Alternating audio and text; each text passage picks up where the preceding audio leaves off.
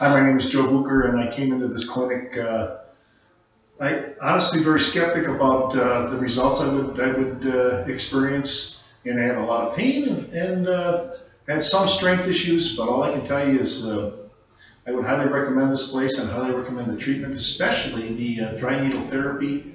I, I experienced outstanding results. I feel like I'm near 100% in, in a few months of treatment, and uh, I highly recommend the place and the people that, uh, that work here.